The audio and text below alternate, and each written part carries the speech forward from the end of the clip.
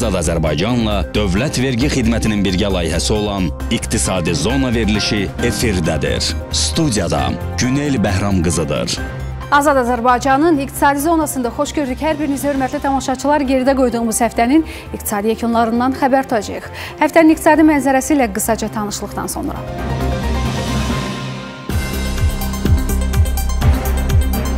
Yeni dərs ilində təhsil haqları arta bilərmi? Universitetlər ödənişləri nəyə əsasən müəyyənləşdirir? Diqqətli olun, satışda saxta qızıllar var. Zinət əşyaları alarkən onun həqiqətən dəyərli metaldan hazırlandığını necə müəyyən etmək olar? Bu yay mövsümündə Bakı bağlarına üst tutanlar nə qədər xərcə düşəcək? Qiymətlərdəki kəskin artım nə ilə bağlıdır? Birazdan Xankəndi şəhərinə ilk köçün tarixi açıqlanıb. Bu il orta aylıq əmək haqqı gözləniləndən də çox ola bilər. Azərbaycan və İran Aras çayından istifadə ilə bağlı önəmli görüş keçirdi. Bunlar və həftənin digər maraqlı xəbərləri barədə qısaca iqtisadi gündəm blokunda. Bu ilin sentyabrında Xankəndi şəhərinə ilk köç olacaq. Bu barədə Prezident İlham Əliyev Xocalıda öz doğma yurduna qayıdan insanlarla görüşü zamanı məlumat verib. Dövlət başçısı bildirib ki, Xankəndiyə birinci köçən tələbələr və onların müəllimləri olacaqlar. Çünki Qarabağ Universiteti fəaliyyətə başlayacaq. Prezident əlavə edib ki, Ağdam şəhərinə də gələn il insanlar qayıdacaqlar. Azərbaycanda bu il orta aylıq əmək haqqının 990 manat olması proqnozlaşdırılır. Bu Dövlət Sosial Müdafiə Fondunun 2024-cü il büdcəsi haqqında qanunda dəyişiklik edilməsi barədə layihəyə dair izahatda bildirilib. Qeyd edilib ki, İqtisadiyyat Nazirliyi tərəfindən 2023-cü ildə təqdim edilmiş məlumatlarda bu il üçün ilkin olaraq orta aylıq əmək haqqının proqnoz göstəricisi 980 manat göstərilib. Dəqiqləşdirilmiş makroiqtisadi göstəricilərə əsasən isə bu göstəricinin 990 manat olması gözlənilir. Araz çayının su və energetika ehtiyatlarından istifadə üzrə Azərbaycan və İranın daimi fəaliyyət göstərən Birgə Komissiyasının 53-cü görüşü Təbriz şəhərində keçirilib. Görüşdə Araz su anbarının iş rejimi və iki ölkə arasında su bölgüsü müəyyənləşdirilib. Araz çayında su və energetika ehtiyatlarından birgə istifadə üzrə müvafiq bölgü cədvəlləri hazırlanıb və protokol imzalanıb. Müharibə veteranları üçün yeni güzəşt müəyyənləşib. Bununla bağlı təhsil haqqında qanuna dəyişiklik edilib. Belə ki, bundan sonra peşə təhsili müəssisələrində müharibə veteranı adı almış şəxslərin ödənişli əsaslarla təhsil aldıqları müddətdə təhsil xərclərini dövlət ödəyəcək.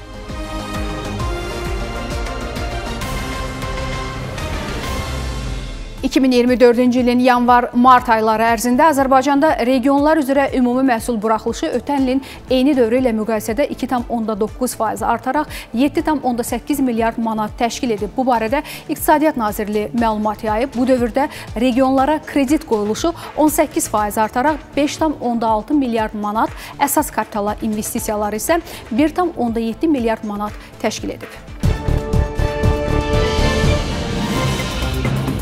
Bu yay mövsümündə Bakı bağlarına üst tutanlar nə qədər xərcə düşəcək? Qiymətlərdəki kəskin artım nə ilə bağlıdır? Birazdan Ölkədə qəbul imtahanları keçirilir. Artıq abituriyentlər ixtisas və universitet seçiminə hazırlaşırlar. İndi onları ən çox maraqlandıran məsələlərdən biri təhsil haqlarıdır. Yeni tədris ilində təhsil haqlarında artım ola bilərmi? Ümumiyyətlə Azərbaycanda fəaliyyət göstərən ali məktəblərdə təhsil haqları necə müəyyən olunur? Məsələ ilə bağlı universitetlər və təhsil ekspertlərinin rəyini öyrənmişik ətraflı sujetdə.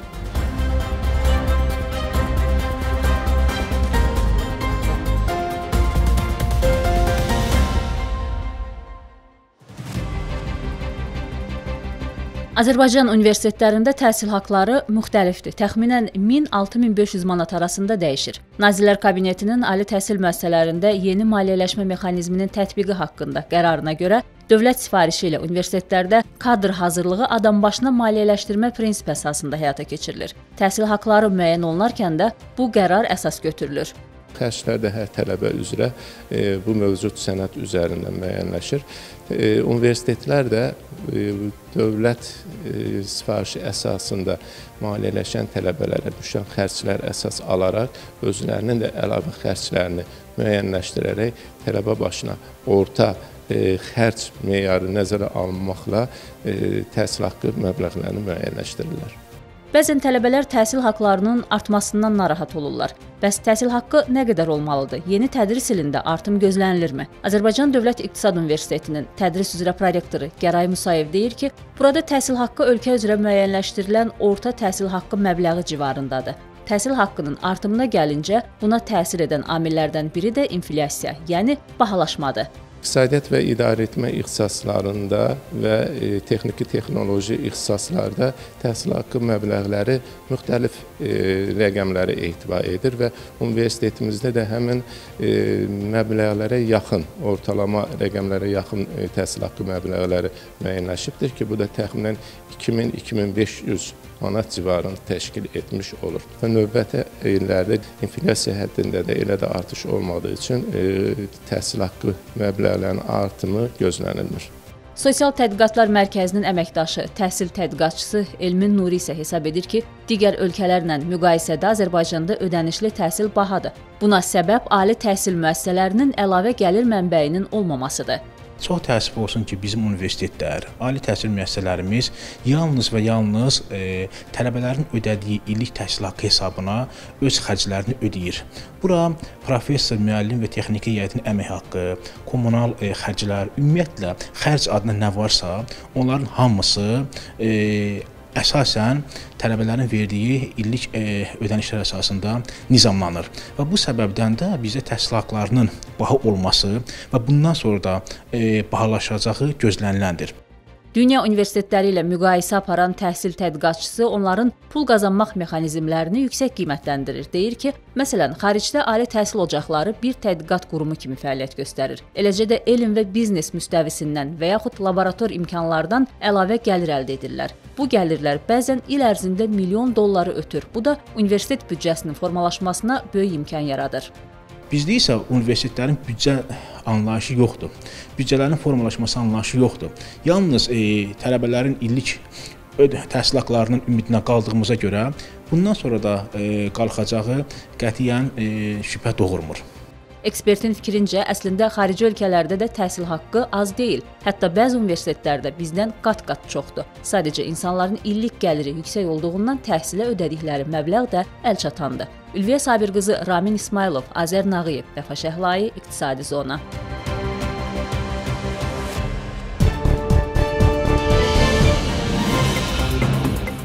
Diqqətli olun, satışda saxta qızıllar var. Zinət əşyaları alarkən onun həqiqətən dəyərli metaldan hazırlandığını necə müəyyən etmək olar? Birazdan Hər il havalar istiləşdikcə bağ evlərinə tələbat da artır. İnsanlar əsasən Bakı kəndlərində dəniz kənarına yaxın yerlərdə ev alırlar və ya kirayəyə götürürlər. Tələbatın artması qiymətlərə də təsirsiz ötüşmür.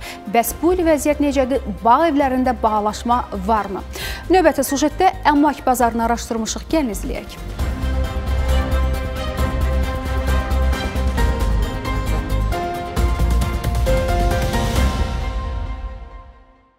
Bakının e, Xəzər rayon bölgəsi Mərdəkan, Şüvalan, e, Bilgəhbə ərazilərinə daha çox tələbat olur. Eyni ilə Nardaran da daha çox hovuzlu evlərə tələbat olur. Qiymətləri də daha yüksək hovuzlu evlərin olur. Ev alqı-satqısı və kirayəsi ilə məşğul olan realtor Murad Muradov deyir ki, Bakıda bağ evlərinin istər kirayəsi, istərsə də satışında bahalaşma müşahidə olunur. Ən ucuz evin satış qiyməti 250 min manatdan başlayır. Ona görə də insanlar evləri kirayələməyə daha çox üstünlük verirlər, nəinki almağa. Əksər hallarda evi 1 aylıq kiraya tuturlar. Hovuzlu evlər minimum 4000-dən başlayırsa, e, hovuzsuz bağ evlər isə 1500 manat e, sezon vaxtı bu qiymətlərdən başlayır. 1 ayı 25 minə bağ evləri də mövcuddur. İyul və avqust aylarında müştərilərin tələbatı daha çox olur. Daşınmaz əmlak məsələləri üzrə ekspert Elnur Fərzəliyev isə deyir ki, Bakıda bağ evlərinin alışı və kirayəsində əvvəlki illərə nisbətən zəifləmə var. Çünki paytaxtın əmlak bazarında qiymətlər hədsiz artıb. Bu səbəbdən də bir çox insan artıq Azərbaycanın turistik bölgələrində torpaq alıb ev tikir və ya kirayə götürür. Artıq Bakı ətrafı ərazilərdə, dəniz kənarı ərazilərdə bağ evləri kimi nəzərdə tutulmuş sahələrdə torpaq sahələrinin olmaması, qiymətlərin baha olması, həmçinin bağ evlərinin satış qiymətlərinin kəskin baha olması vətəndaşları bölgələrə üst tutmağa məcbur edib ki, ki, hal-hazırda turistik zonalarda bağ evlərinə yararlı torpaq sahələrinin qiymətlərində də kəskin artımlar müşahidə olunur. Həmçinin gündəlik kirayə qiymətləri də həmin bağ evlərinin demək olar ki, Bakı ətrafı ərazilərlə eyniləşib. Ekspert bildirir ki, bölgələrə axın orada da bahalaşmaya səbəb olub. Məsələn, indi Bakıda sadə bağ evinin bir günlük kirayə qiyməti 50 manatdan, bölgələrdə isə 40 manatdan başlayır. Amma əvvəl bölgələrdə bağ evini günü 20-30 manat arası da kirayələmək mümkün idi daha baha standartlara cavab verən villa tipli, hovuzlu və digər bütün şəraitləri olan e, bağ evlərinin gündəlik qiymətləri isə təqribən 500 manatdan başlayaraq bir neçə min manata qədər dəyişə bilər. Bölgələrdə də həmçinin bağ evinin yerləşməsi, yaşıllığı, için hovuzu və s. digər standartlar əgər yüksək səviyyədədirsə, ortalama bir günlük qiyməti 250-300 manat arası dəyişir.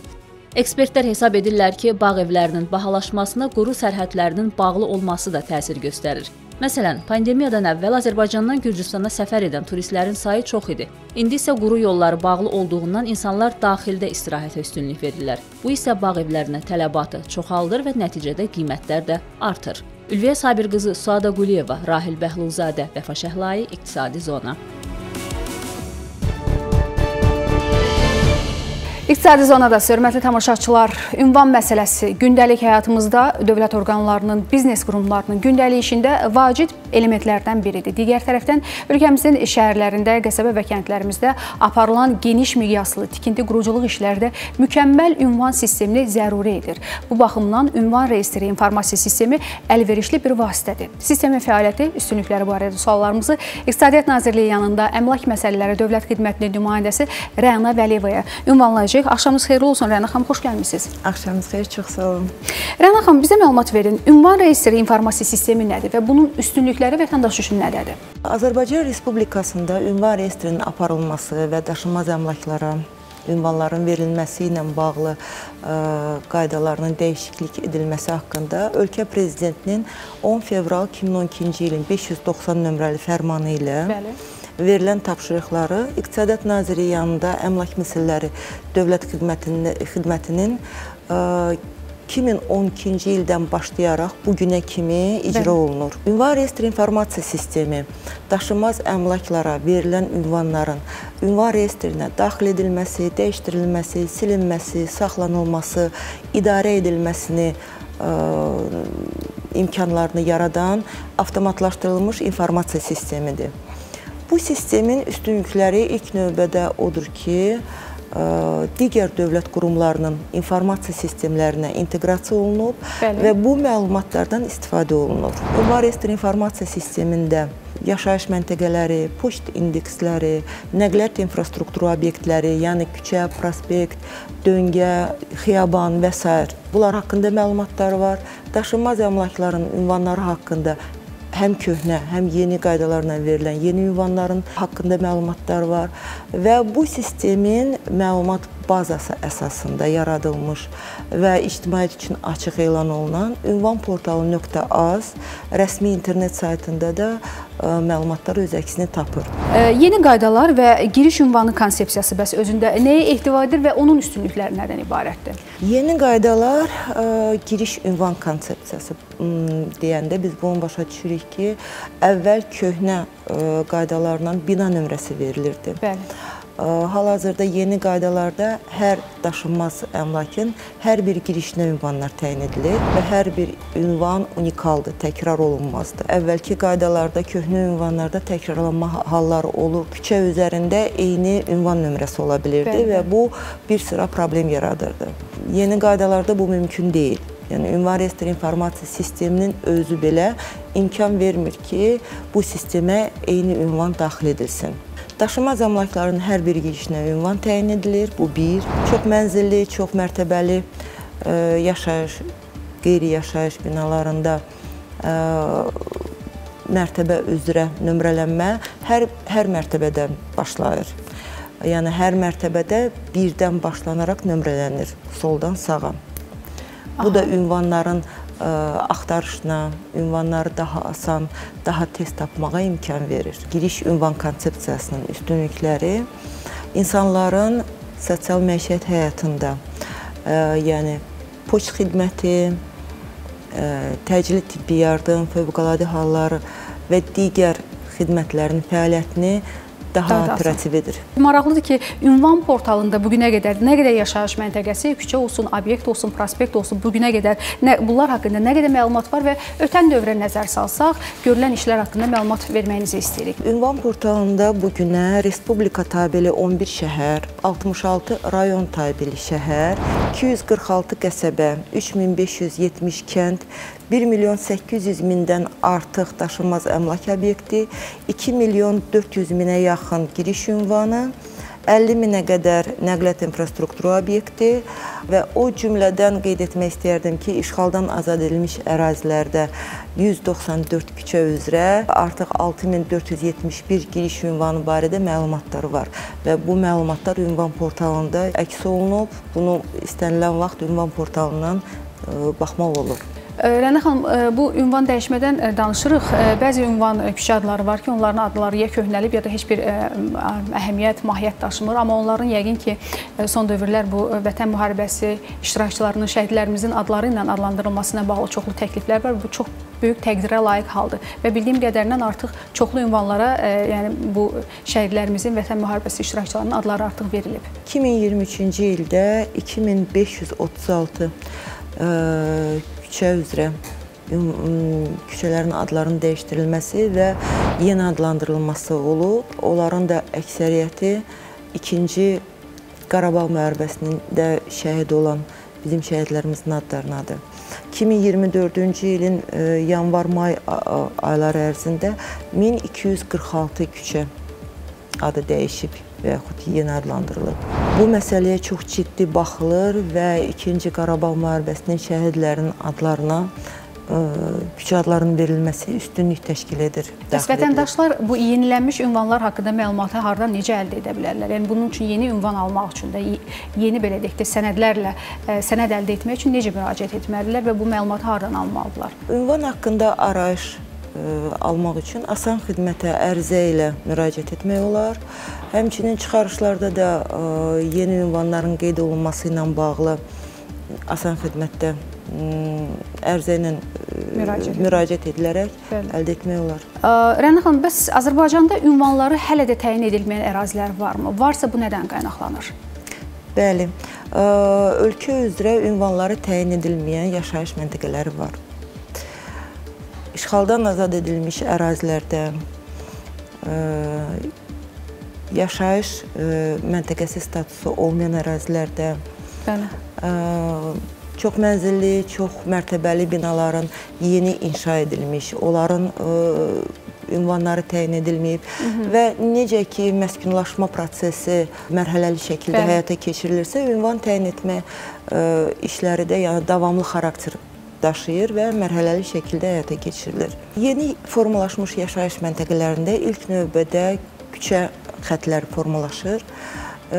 Həmin küçələrin başlanğıc və son nöqtələri təyin edilir. Formalaşandan sonra Əmlak Məsələləri Dövlət Xidmət tərəfindən yerli icra hakimiyyətlərinə küçələrin adlandırılması ilə bağlı təkliflər göndərilir. Bəli. İcra hakimiyyətində bu məsələ baxılır, küçələr adlandırılır, sərəncamlar verilir. Həmən sərəncamlar xidmətə məlumat xarakterli müşahidə məktubundan təbii ki, bizə göndərilir. Sərəncamlar bizdə artıq olandan sonra biz həmin küçələri ünvan reyestri informasiya sisteminə daxil edirik və həmin ərazidə ünvan təyin etmə işlərini aparırıq. Hı -hı. Ünvanlar təyin ediləndən sonra sistemə daxil edilir və portalda da öz əksini tapır. Hətta biz parklara belə ünvan veririk. Parkdır, sonra parklardakı olan köşklərdir, Hı -hı. digər daşınmaz əmlakların hamısına müvəqqəti tikililərə müvəqqəti ünvanlar təyin edirik. Zirzəmi, kürsülü, texniki və mansard mərtəbələrdəki yerləşən daşınmaz əmlaklara da ünvanlar təyin edilir və ə, mərtəbələrdə hər bir girişə daxili ünvan təyin edilir. 2013-cü ilə qədər ə, ölkə üzrə adlı 6656 küçə və prospekt var idi. Bəli. Və bu günə Əmlak Məsələləri Dövlət Xidmətinin təşəbbüsü ilə 50 mindən artıq yeni küçə və prospekt adlandırılıb. Əvvəllər kəndlərdə küçələr belə yox idi. Bəli. Həmin küçə xəttlərini, küçə şəbəkəsini biz yaradaraq yerli icra hakimiyyətinə müraciət edirik və onlar adlandırılır. Yeni İndi hal-hazırda kənd yaşayış məntəqələrində artıq ə, küçə adları var, ünvanlar təyin edilib və ünvan portalında istənilən zaman bu məlumatların hamısını görmək olur. Çox təşəkkür edirik sizə. Minnətdarıq dəvətimizi qəbul edib gəldiyiniz üçün Rəna xanım. Sizinlə sağollaşırıq. Çox sağ olun. Hörmətli tamaşaçılar, İqtisadi Zona davam edir.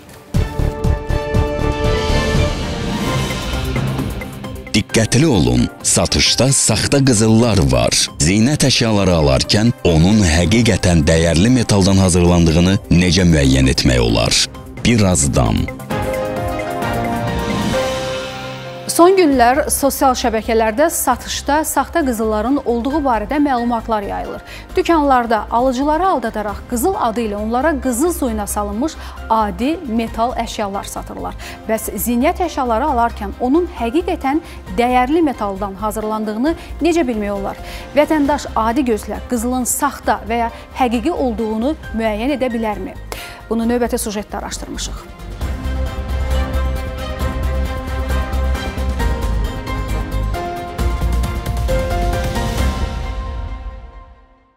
Qızıl sepdir. Bunun içində dəmir varsa, bu maqnit buna yapışacaq. Xaricdən gəlmələrdə çox olur belə bir şey ki, burada əgər dəmir varsa, bu yapışmalıdır buna.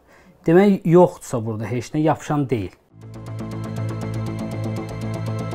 Son günlər qızıl bazarında saxta məhsulların satıldığı iddia edilir. Belə ki, xalis qızıl adı ilə alıcılara qızıl suyuna salınmış metallar satılır. Bununla bağlı sosial şəbəkələrdə də videolar paylaşılır. Gümüş olan hissələri qaralır. Çörə çıxıntılı hissələr qızıl, bu hissələr gümüş. Bu hissələr hamısı gümüşdür. Bu hissə qızıl, içəri hissələr gümüşdür. Belə qızıllardan ehtiyatlı olun. Bu hissələrin hamısı gümüşdür. Zərgər Zaur Novruzov deyir ki, qızılın saxta olub-olmadığını maqnit testindən başqa kimyəvi üsullarla da müəyyənləşdirmək mümkündür. Yod, adi yoddur. Yodu götürürüz, çəkdiniz bura 5 saniyə, 10 saniyə gözlədirsiniz. Qaraldısa, deməli problem yoxdur, qızıldır. Bir çoxları isə aldığı qızılın saxta olduğunu yalnız zərgərə müraciət edəndə bilir. Qızıl satışı ilə məşğul olan insanlar və zərgərlər xüsusi vasitələrlə onun orijinallığını və əyarını müəyyənləşdirə bilirlər. Bu üsullardan ən məşhuru isə xüsusi yağ və daş vasitəsilə olandır.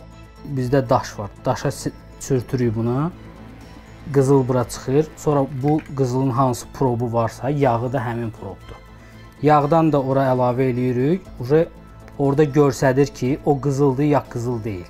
Ən çox bu dəqiqə probların yerini səhv salırlar.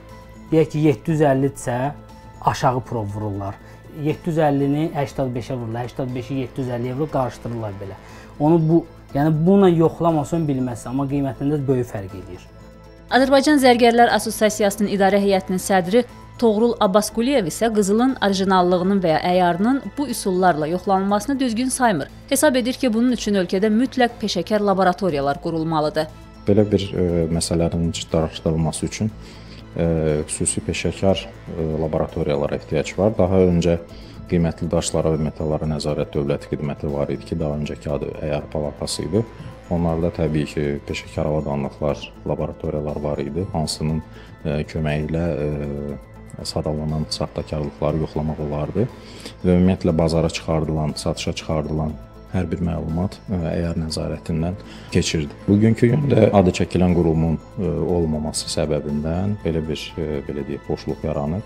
Bəs qızıl bazarında belə saxtakarlıqların olmaması üçün assosiasiyanın istehlakçılara tövsiyəsi nədir? Mütləq məmulatın xarakteristikalarını əks etdirən hər hansısa bir sənəd, sertifikat, bildiriş tələb etsinlər. Yəni burada qiymətli metaldırsa, qiymətli metalın növü, gümüş, qızıl, metalın əyarı, qiymətli daş varsa, daşın deməli karatı, şəffaflığı, ölçüsü, rəngi, bütün bu məlumatlar əks olunmalıdır ki, gələcəkdə hər hansı bir sual və ya şübhə doğurarsa, istehlakçıda məmulat o müvafiq dövlət qurumlarına müraciət etsin.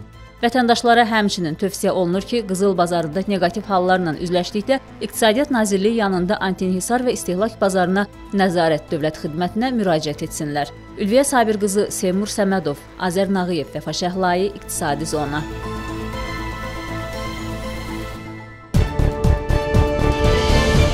Bu həftəlik bu qədər hörmətli tamaşaçılar. Siz Azad Azərbaycanla Dövlət Vergi Xidmətinin birgə layihəsi olan İqtisadi Zona verilişini izlədiniz. Sağ olun. Yenidən görüşmək ümidi ilə.